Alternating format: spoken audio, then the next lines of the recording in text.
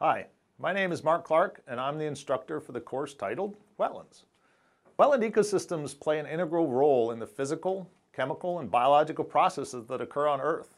Plant and animal habitats found in wetlands are unique and play a unique and critical part of the life cycle in both commercially important species as well as many threatened and endangered organisms.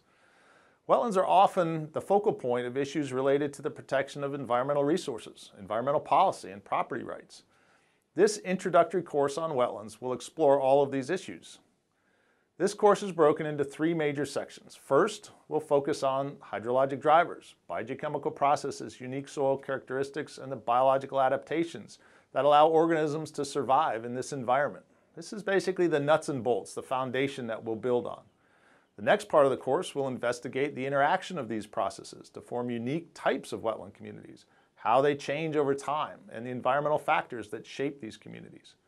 The last part of the course will look at interactions of humans with wetlands, including regulations used to protect wetlands and requirements for mitigating the loss of wetlands, and how wetlands are being integrated into human landscapes to help improve water quality and treat just about any type of stormwater or wastewater.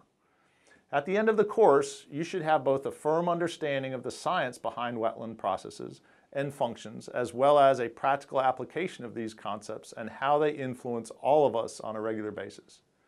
The course is offered both on campus and through distance learning. Delivery mainly through basically lecture format. However, there are also some assignments that will require you to get out in the field and explore some of the wetlands around where you live.